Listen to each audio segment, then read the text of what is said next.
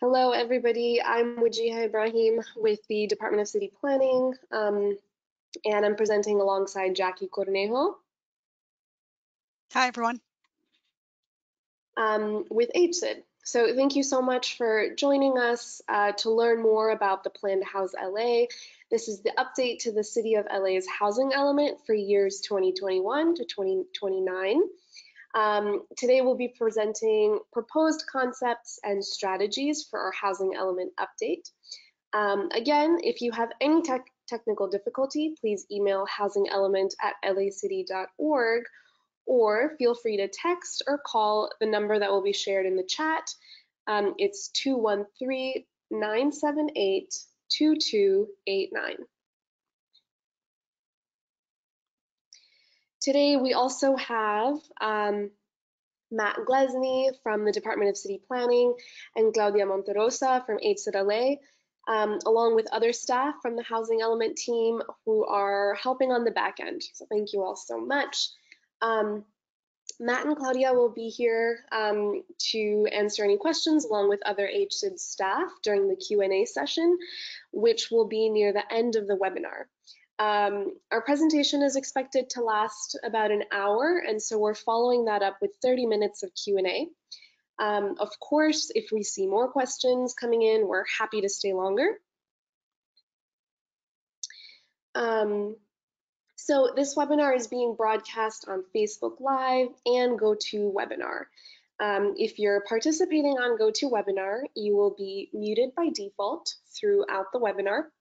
Um, if you'd like to provide a comment or ask a question, that can be done through the um, chat panel um, that you'll see on the control panel of GoToWebinar. Um, and we've also shown that here on the screen with blue arrows. Now just note that there's a copy of this presentation that's available for you to download through the materials tab, if right above the, the chat tab on the control panel. Um, if you'd like to view live captioning, please use the link that we're including in the chat and um, comment box. And again, throughout the presentation, we invite you to type in your questions and comments. Um, we'll be responding to questions again near the end of the Q&A, uh, near the end of the webinar during the live Q&A. And we'll also be taking um, polls through the webinar using um, menti.com, a fun new platform. Um, so to participate in the poll, you can either um, scan the QR code that you see on the right hand side of my screen um, by simply opening your phone camera app and um, facing it uh, at the code over your screen. Um, you can also go on menti.com and put in the number that you see on the screen, 7019603. And again, this can be done on any device that has access to internet, smartphone, tablet, laptop. Um, and to those watching via Facebook, we are broadcasting this webinar on GoToWebinar, but you'll also be able to participate in our polls, and we really encourage you to do so. Um, if we don't get to your question on Facebook, you can again email us at housingelement at lacity.org. Um, and we really hope to have a productive and respectful conversation on housing and how to make this a more livable and sustainable city for us all.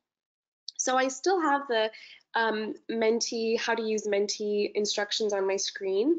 Um, and let's start with trying that out. So um, let's walk through this interactive tool and try it out. So let's see if we are able to get some responses. If you guys are having any issues, just um, go into menti.com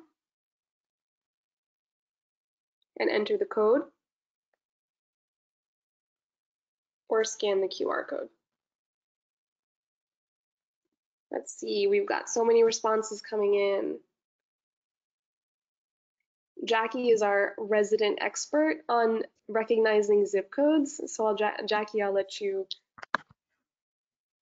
Yeah, it looks like we have quite a few folks um, from the west side here, um, as well as K-Town and Westlake. And we have some folks also in the Silver Lake, East Hollywood area. We have some folks out in the valley. And it looks like we might also have some folks from uh, the more southern part of the city, close to the harbor. And we see a nice high there. so thanks. um, now we have a good sense of um, where folks are coming from uh, for this webinar. Thank you all for participating. Yeah, very cool. Great. And again, if anyone is having issues getting into Menti, um, feel free to call or text the number that's in the chat box.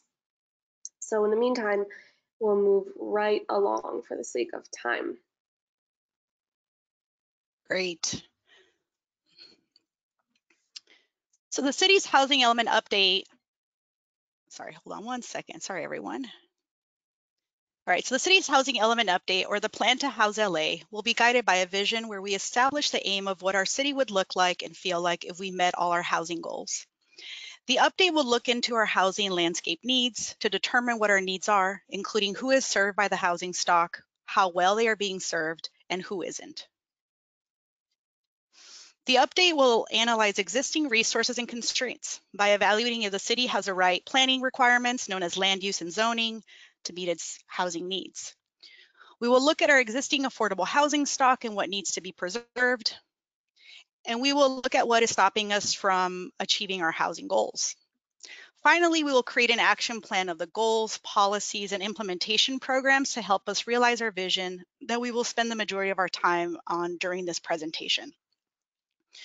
Over the next year, City Planning and the Housing Community Investment Department will use your input and suggestions to assess the city's housing needs, list existing constraints and resources, and make an action plan to achieve the city's collective vision for housing. So we'll start with some context here. Housing elements were established by the state of California in 1969 as a mandatory part of the general plan. The housing element identifies the city's housing conditions and needs. It also establishes the goals, objectives, and policies to meet those needs. Under state law, the housing element must be updated every eight years. The plan to house LA, or our housing element update, will cover the years 2021 through 2029. The state requires that jurisdictions do their fair share to plan for adequate affordable housing as well as affirmatively furthering fair housing. This means proactively preventing discrimination based on race, color, religion, national origin, sex, disability, family status, sexual orientation, gender identity, source of income, medical condition, age, genetic information, ancestry, and marital status. This means that a housing element must proactively seek to advance the goals of the Fair Housing Act and reduce racially and ethnically concentrated poverty and disparities in access to opportunity. All these requirements recognize that housing is a critical need and that the government and private sector must work together to address the needs of all residents.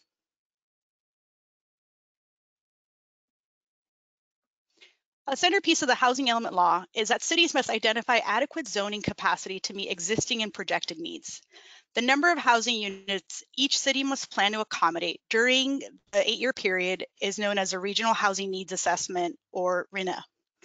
RHNA accounts for both projected need, which includes factors like new births, people moving here for new jobs, and so on, and existing need, which includes uh, includes people already living here in substandard housing, like overcrowded units, or paying more than they can afford.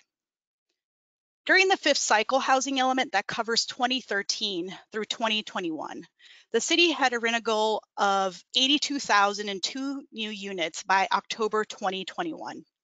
For this upcoming update, we have a significantly higher RHNA of approximately 460,000 housing units, which includes 180,000 units to meet the needs of lower income households.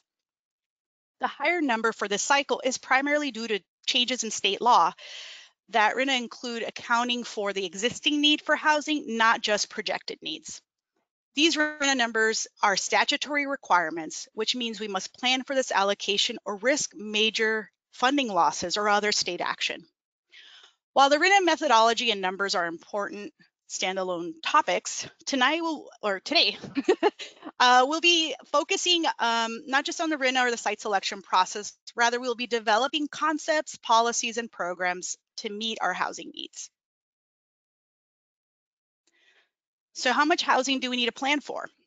For us to reach our estimated RHNA targets, Los Angeles would need to permit an average of 57,000 units each year, including 33,000 affordable units per year. Therefore, it is important to take a step back to review the current housing element to assess how we as a city will develop the goals, objectives, policies, and programs to reach these targets.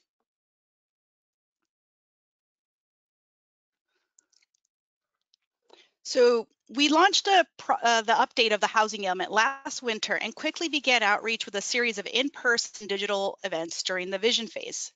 Today, we'll be introducing the concepts that will help shape the plan to house LA. We plan to release our draft plan this winter. The process will conclude with adoption in summer 2021. Unlike other planning efforts, we have a state required adoption deadline of October 2021.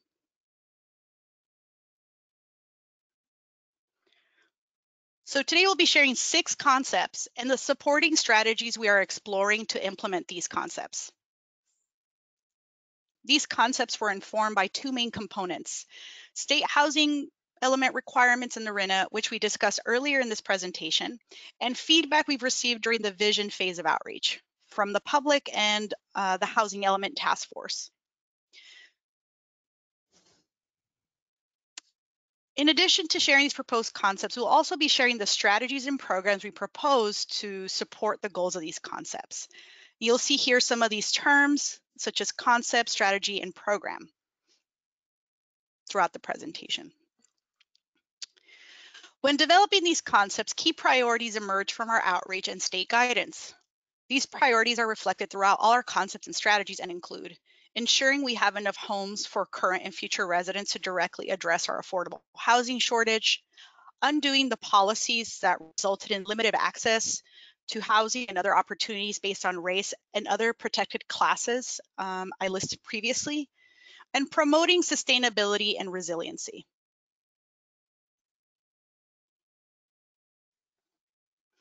We also want to acknowledge that as part of the process of gathering public input, there are important considerations in crafting these concepts, strategies, and program ideas.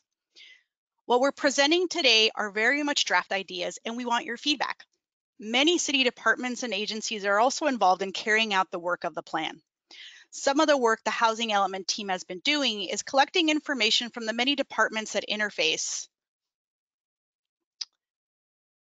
with the housing element and capture how we how we're doing on many of these programs and what may need to be revised for this update. We also need to understand the overall role of the city in carrying out these interventions.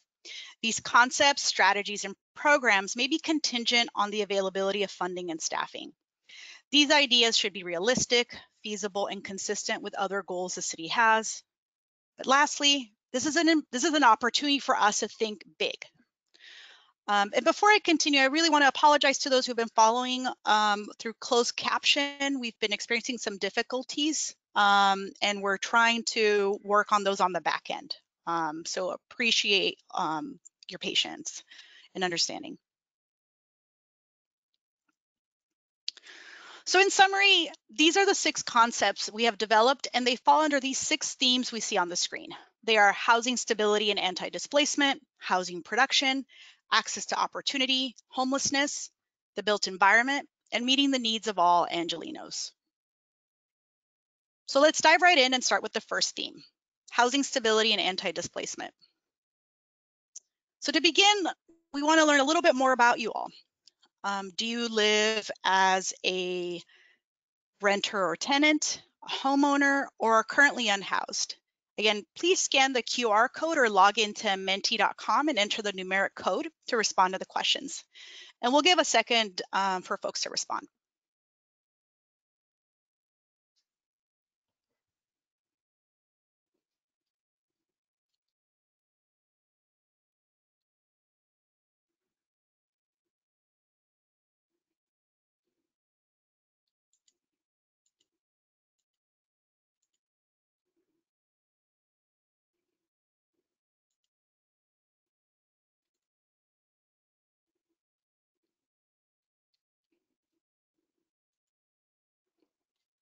All right, looks like we have about an even mix of renters and homeowners.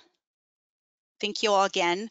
And then I see that if um, if any of you are having any technical difficulties, you can text or call the number 213-978-2289 or email housingelement at lacity.org.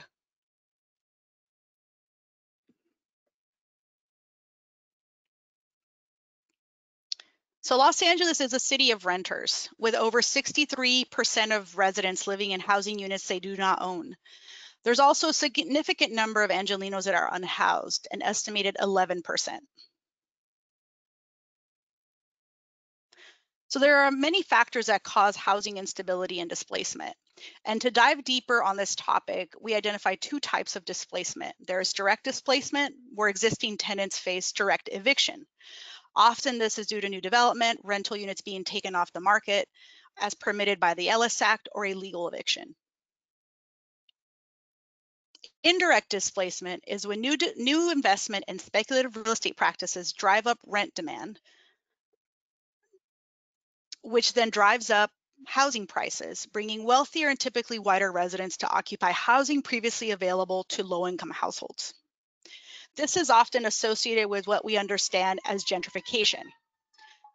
Today, as both Today, both direct and indirect displacement present a major threat to communities in Los Angeles, especially communities with large numbers of people of color and low rates of homeownership. So where is the displacement occurring? Well, housing stability affects all of Los Angeles, but based on some initial research by HCLA, we are seeing the greatest risk of displacement in the areas indicated in dark green on this map. This includes West Adams, Leimert Park, Silver Lake and Echo Park, and in the Hollywood area. As we are planning for the future, we need policies, programs, and resources to provide tenant stability.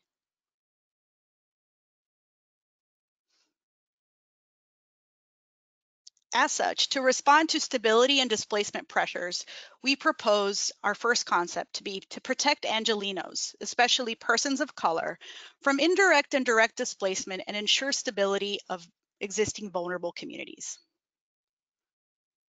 There are a number of programs uh, that exist today where we address this that were revised or developed as part of our existing housing element. Some of those are captured here as part of the city's work to prevent tenant to protect tenants um, through the enforcement of RSO, promoting or our rent stabilization ordinance, promoting the overall creation and preservation of housing for low-income residents, as well as providing financial assistance to homeowners and developers of affordable housing. We have a lot of material to cover today, so we won't be going into depth into every single one of these existing programs.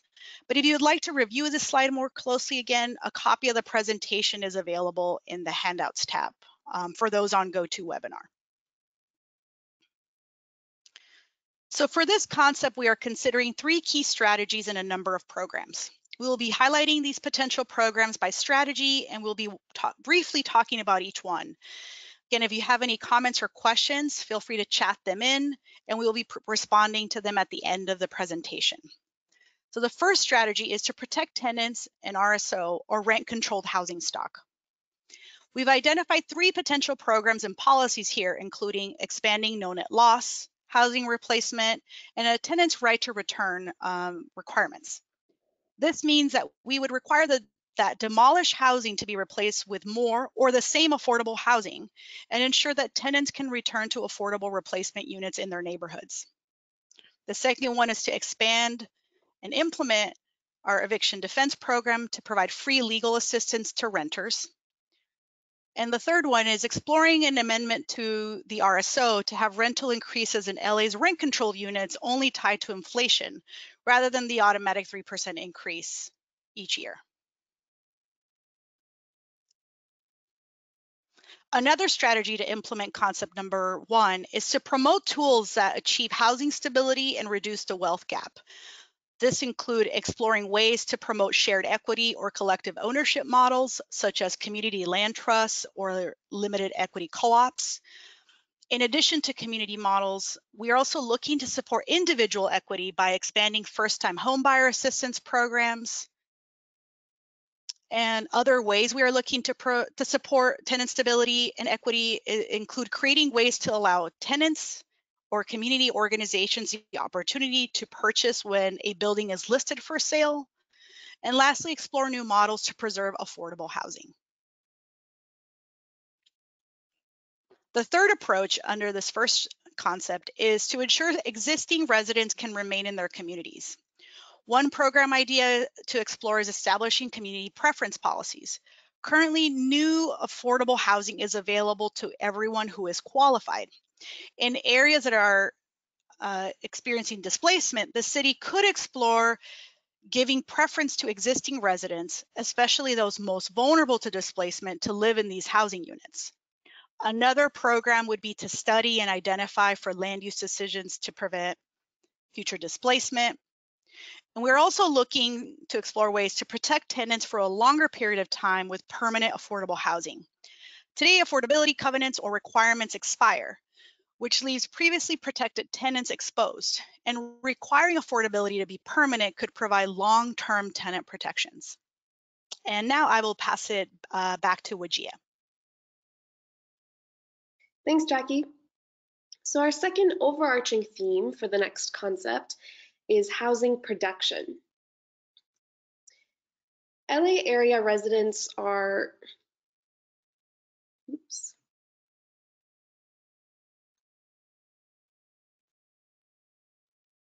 There we go. Um, LA area residents are more likely to live in overcrowded conditions than any other metro area across the country. As you can see in this chart, the LA region has the highest number of adults um, uh, per, per home of all metro areas. And this gives us some insight into what households can afford, and it indicates that residents are living with roommates, living with family members, or multiple families because there is not housing available at an affordable price that meets their needs. So this shortage of housing has created a cost burden for Angelenos. In addition to the highest overcrowding rates, LA also has the highest percentage of cost burdened households of any major American city. This means that our housing shortage has resulted in almost half of all Angelenos spending more than one third of their income on housing costs, such as mortgage or rent. Um, this burden is more significant for renters, as shown on, on the right-hand side. You can see that six in 10 renters um, really struggle to afford rent. So this leads us to our next concept, our second concept, which is um, in which we propose to meaningfully increase the production of new housing, particularly affordable housing. There are a number of existing programs where we address housing production and affordable housing production that were revised or developed as part of our existing housing element. We have um, planning at a neighborhood level, and um, that has created land use incentives for the construction of on-site affordable housing. We have also created opportunities on our existing properties by repurposing existing buildings or building additional housing units. We've also created a new permanent source for funding affordable housing with the linkage fee, and that continues to finance the construction of affordable housing. For this concept, we are considering increasing zoned capacity for housing as one of the key strategies. Now, potential programs for this strategy could include um, planning for increased capacity to realistically meet our housing needs, as our past planning efforts haven't really resulted in enough housing to meet our needs. Uh, we also propose creating zoning tools for missing middle developments like bungalow courts, multiplexes, and courtyard buildings to encourage low contextual density in our existing neighborhoods. We also propose looking for opportunities to expand ADUs, um, micro units, and other forms of small, more affordable homes. And we want to evaluate how our existing neighborhood plans, like specific plans and overlays, are delivering for our housing needs. Another strategy we're proposing is to incentivize mixed income development. Um, so a mixed income development is one that includes both market rate and affordable housing units or a mix of incomes. So potential programs to implement this strategy is exploring new models of affordable housing development on publicly owned land. Um, increasing or even maximizing the percentage of affordable housing included in market rate housing developments, and expanding streamlining to remove process barriers for projects that include affordable housing. A third strategy we're proposing is to improve access to affordable units. This can look like exploring expansion of affordable unit registries and um, the website to advertise new affordable unit availability, similar to the one launched recently for accessible units. And this can also look like locating new sources of funding and financing of affordable housing. For the next concept, I'll pass it back on to Jackie. Great. Thanks, Wajiha. So the next concept is access to opportunity.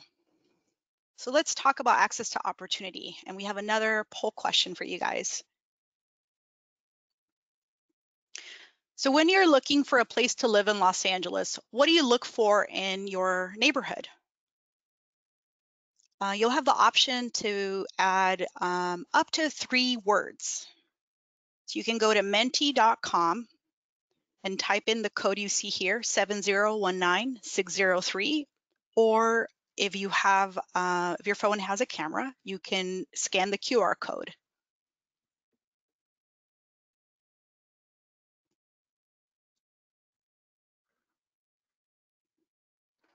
So we see here good schools,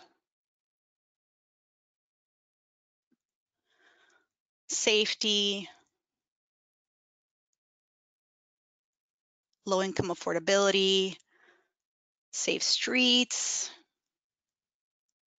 trees, green space,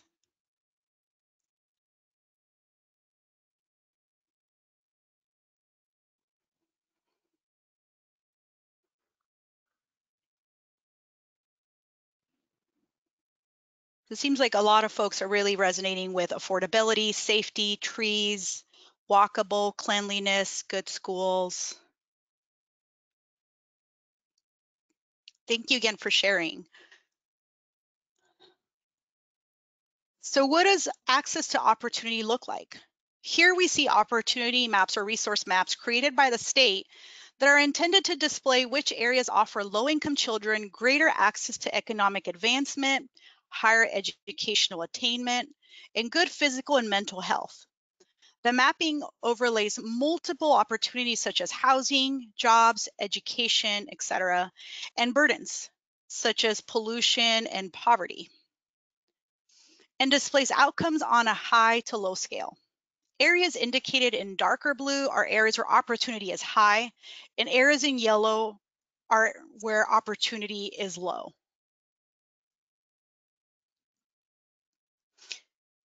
Approximately 83% of our parcels in our highest resource areas are single family. We know that past zoning practice has often maintained single family uses in the highest resource areas and removed single family zoning in lower resource areas. Systemic racism and other inequities have influenced these land use decisions. High resource areas have not built as much housing, especially affordable housing compared to areas without these amenities and resources. How we zone the city not only affects our ability to produce a more livable city, but also ability to achieve our goal of affirmatively furthering fair housing.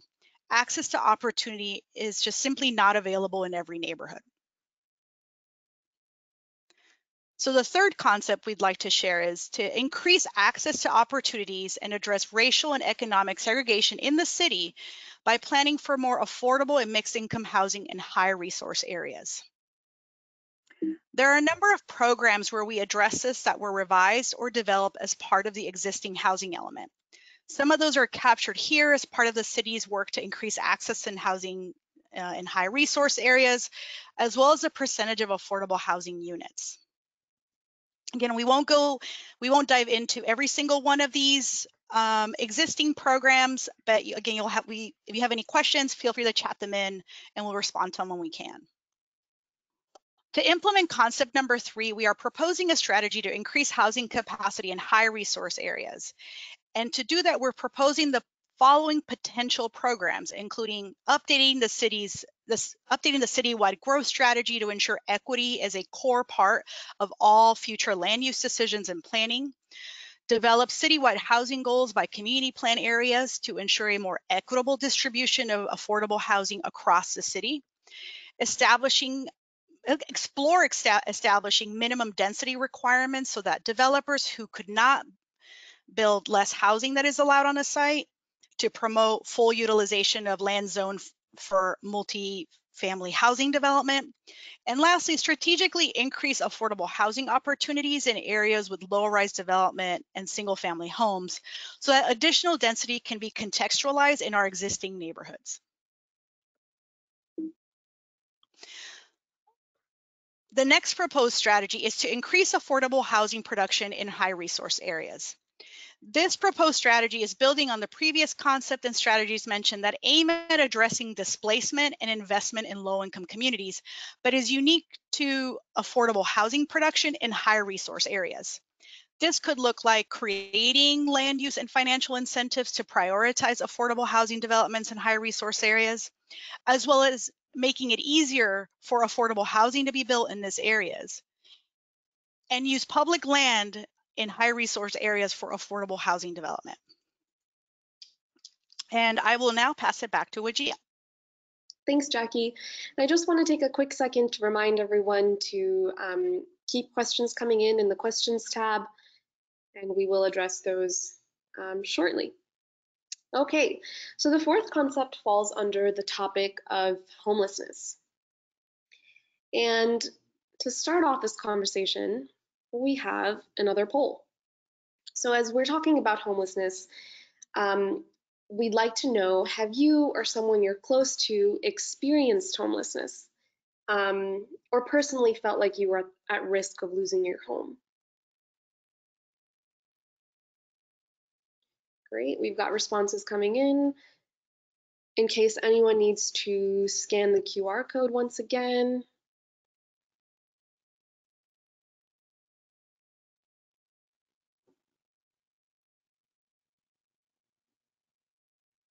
All right.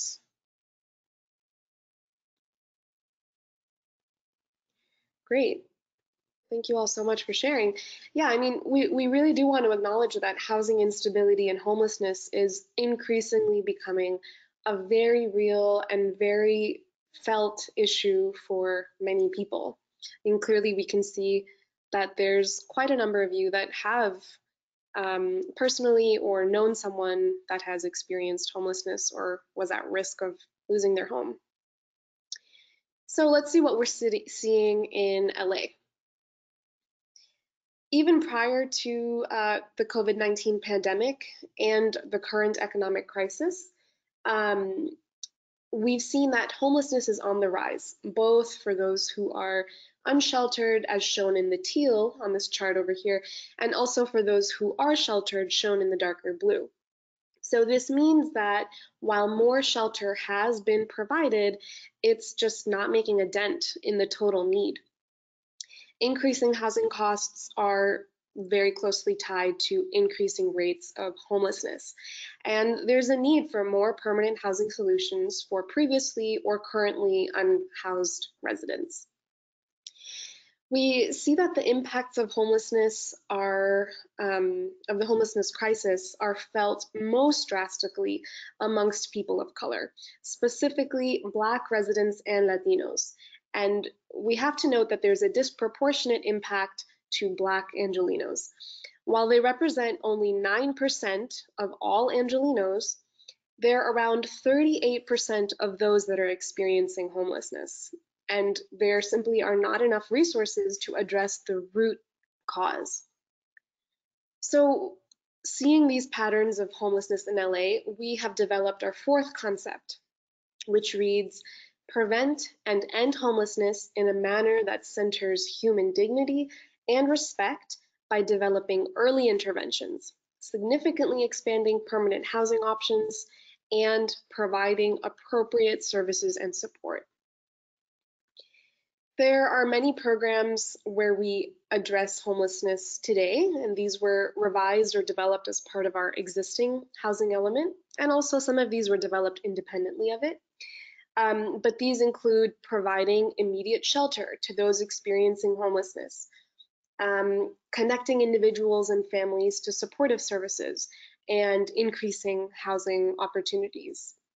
And again, just for the sake of time, I'm not reading through all the bullets, but you do have a PDF of this presentation um, made available to you in, in the handout section of the control panel. So for our first strategy um, to implement this concept that we've developed, um, we have some ideas to promote crisis intervention strategies and homelessness prevention. And these include expanding targeted services and early interventions to those that are highest risk of homelessness. Um, such, such as programs that are specific to people who have been impacted by the criminal justice system, people at risk of eviction, people with disabilities, um, and transition aged youth, which are those that are either are those that are coming out of foster care um, foster care. Another proposed strategy, excuse me, is to develop permanent housing solutions. And we propose doing this by increasing funding for the production of permanent supportive housing, which is housing that's permanently affordable and it's accompanied with supportive services like counseling, for example. We're also looking at expanding programs to develop deeper affordability for our lowest income residents, meaning individuals who make less than 24,000 a year. And we're looking to support implementation of Project Homekey, a new program that's developed by the state to prioritize permanent housing for unhoused individuals.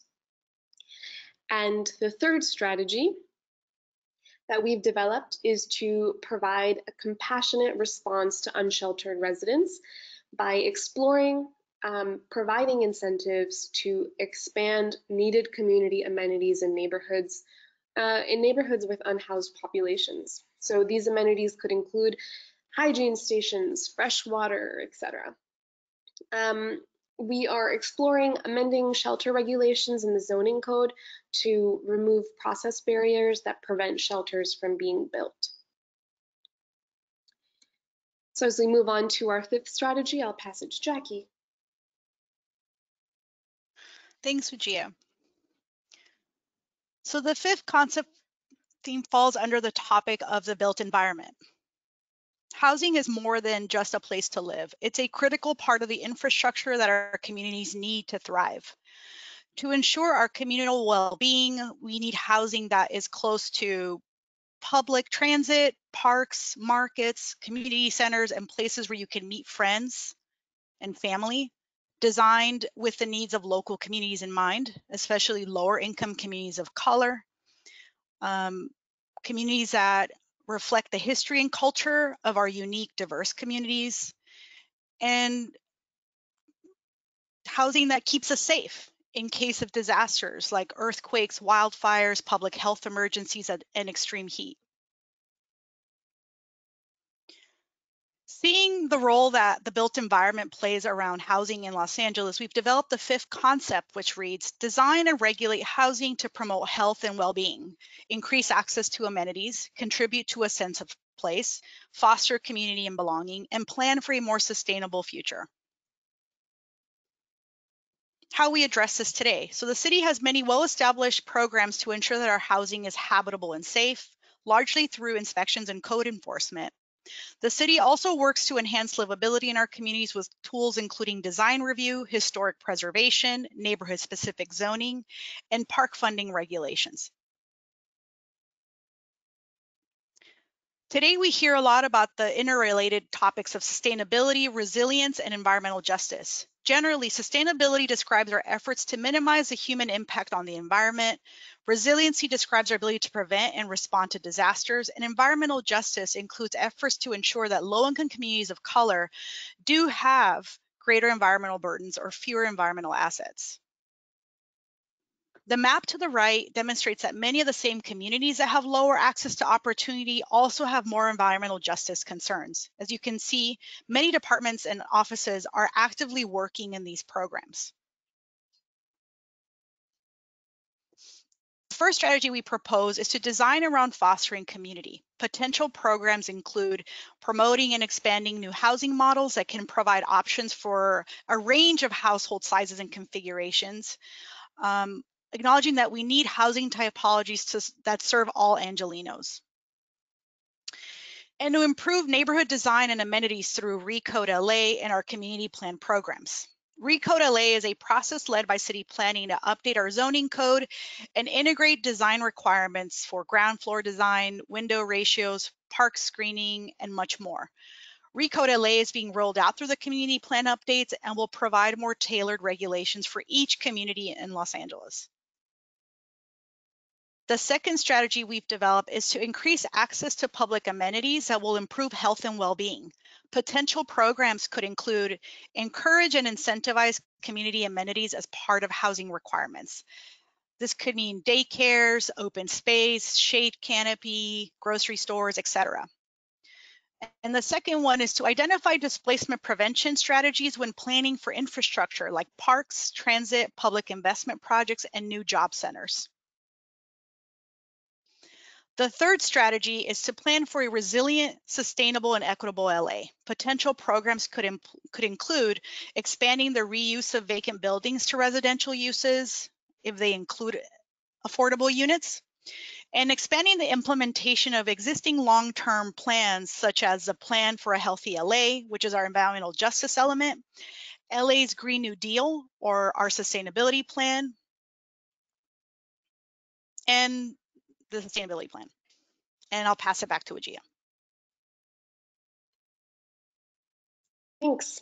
So the sixth and final concept falls under the topic of meeting the needs of all Angelenos, uh, in which we focus on meeting the housing needs of our diverse population, regardless of age, life circumstance, household size, or ability. But before we dig in, we have one final poll question for you all. Could your current home accommodate an elderly family member whose um, elderly family member or friend with special needs? So to really think about this question, I'm going to ask, um, could someone still get around uh, in a wheelchair or um, with a walking device in your current house or apartment or wherever you live? Um, would they be able to switch to a medical bed if they needed to?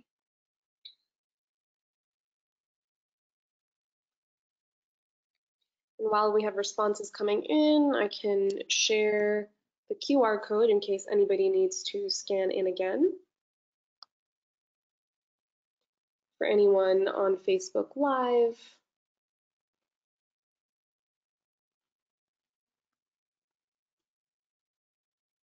Great.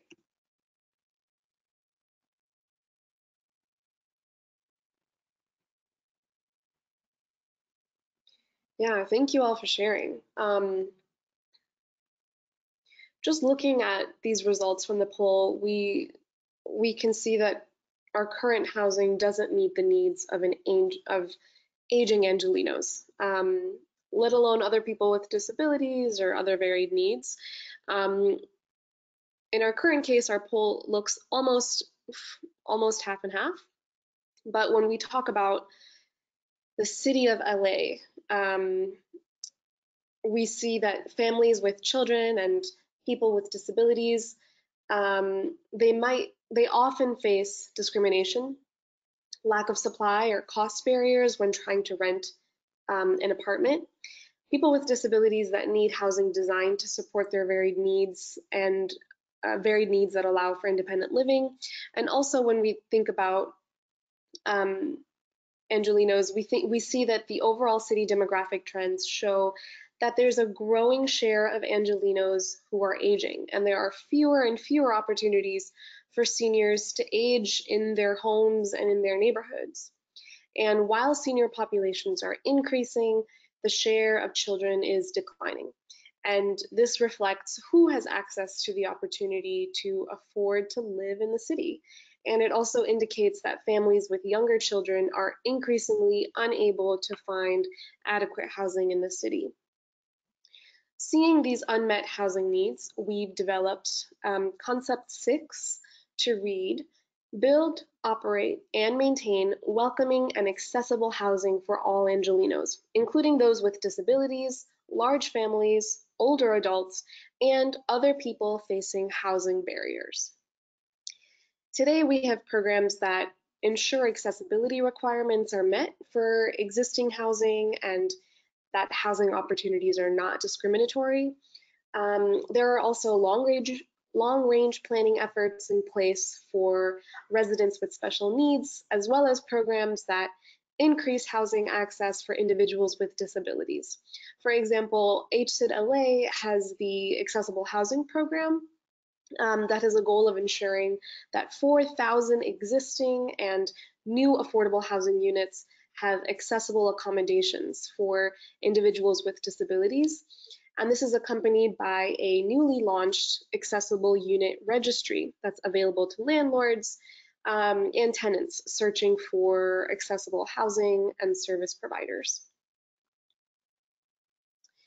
Um, the first strategy that we have developed to really implement this concept of meeting the needs of all Angelenos um, reads in each neighborhood provide housing that can accommodate people with disabilities, larger families, and seniors. And potential programs for this strategy could include expediting and removing barriers for housing that's serving people with special needs, including elder care, senior living, memory care, affordable rehabilitation, disability housing, and transitional housing. Um, another potential program could be promoting uh, development of new housing models that meet the unique uh, that meet special needs, such as co-living, shared spaces, micro units, um, roommate matching services for seniors, and even guest room housing. We're also exploring creating an incentive program for accessible units and um, we also propose an update and expand to implement an age-friendly action plan. The second strategy that's developed is to um, provide housing for households that face the greatest barriers. Potential programs could include pursue uh, new funding sources for affordable special needs housing and expand rental assistance or voucher programs. The third strategy we've developed is to strengthen anti-discriminatory, anti-discrimination protections and enforcement. Potential programs could include expand proactive fair housing enforcement to include new state law protections and enforce the new state anti-discrimination provisions for justice impacted populations. So to recap, I'll pass it to Jackie. Great, thanks, Wajiha. So these are the six concepts again that we've presented to you all today and are looking for your feedback. We presented a very comprehensive view of what should inform our vision for housing for the next eight years. Based on the feedback we receive over the next several sessions, these concepts will be further refined and guide the housing element team as we draft the plan update. Again, a draft will be, will be released to the public sometime in winter 2021.